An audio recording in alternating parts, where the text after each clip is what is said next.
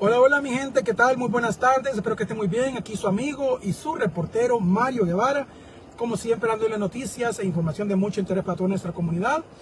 Aquí espero que la estén pasando de lo mejor, que tengan un feliz día martes, feliz comienzo de semana. Y quiero comentarles que, bueno, tengo una historia súper, súper interesante. Ya tres días, justamente hoy, a las 2 de la tarde se cumplieron 72 horas que un hombre de 29 años se tiró de un bote a nadar en medio del agua Lanier y no lo vio, no, nadie lo vio más. Se sumergió en el agua, pero no logró emergir. Pues este hombre, este pobre hombre, fíjense que eh, lo han estado buscando los paramédicos, los bomberos, han estado haciendo una búsqueda intensa de él y pues tristemente no lo han podido rescatar. Eh, las autoridades pues obviamente asumen de que ya, o sea, es, es lo peor, o sea, esperan lo peor, ¿no? Que no lo puedan rescatar con vida y que ya haya fallecido. Pues les cuento que el lago Lanier siempre tiene, esa fama, esa popularidad. De hecho, hay gente que cree que tiene algún tipo de maldición o algo por el estilo. Hay gente que asume que, como el lago Lanier no es natural, sino que es artificial, y, el, y allí mismo, ¿verdad? Abajo del lago había una ciudad hace por ahí cerca de un siglo eh, de hecho, menos, mucho menos de un siglo, había un lago, había una ciudad por ahí, obviamente la gente dice que había un cementerio y las almas, la vida, etc. Pero no, señores, este, yo en lo personal creo, fíjense que la mayoría de muertes en el lago son atribuidas a irresponsabilidades de cada persona.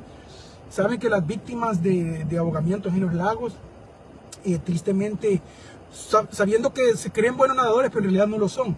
A pesar de eso, se avientan bajo su propio riesgo, no utilizan sus chalecos salvavidas. Para colmo de males, estas personas eh, generalmente andan intoxicadas, han bebido. Entonces, eso limita la posibilidad de reacción ante una emergencia, pues, o sea, hay que ser realista.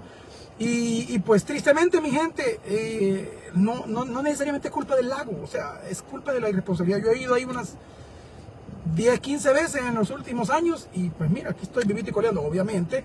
Hemos andado en lancha y todo, pero obviamente yo no me hago la gracia de tirarme en medio ni nada. Y si algún día me ocurría la idea, lo hiciera con unos dos chalecos salvavidas, ¿no? ¿Por qué? Porque obviamente no me quiero ahogar. Pero aquí en este país los errores se pagan caro y muchas veces los pagamos con la vida. De hecho, fíjense que ahorita mismo yo aquí estoy en Carolina del Sur, acabo de llegar, tengo una audiencia en corte. Hace un mes exactamente me paró un policía aquí porque le, sobrepasé a un carro cuando en un carro que iba delante de mí como tortuga y este vehículo iba como tortuga y yo le sobrepasé cuando la línea era sólida y uno tiene que sobrepasar cuando la línea está cortada. Me vio un policía y me clavó mi ticket y yo acepté mi falta y sí, ¿qué pasa? Eh, yo llamo para pagar mi ticket la semana pasada, oiga, me quiero pagar mi ticket, son 200 dólares, ok, dije, lo voy a pagar.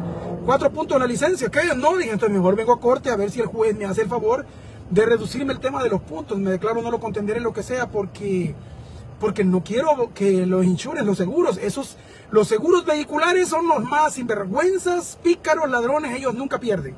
Si te traban un ticket, contá que vas a seguir pagando por los próximos dos años, las renovaciones de los próximos cuatro o cinco semestres, vas a seguir pagando un montón de plata, porque ellos dicen un peligro, entonces se aprovechan de eso. Aunque tú no hayas cometido ningún, ningún delito, ni nada por el estilo, ningún accidente, pero ellos te clavan. Entonces, por eso es que vengo aquí para tratar de negociar. Pero el punto es que los errores se pagan. Uno paga por los errores. Ahora, yo cometí ese error, ahora me toca rendirle cuenta a la justicia. Así es la vida. Cuídense mucho, mi gente. Feliz fin de semana. Bueno, no, no, no. Apenas es martes. Ya estoy creyendo que vamos a ir a descansar. Feliz semana. Disfruten al máximo. Está caliente. Denle agüita a sus, a sus, a sus mascotitas.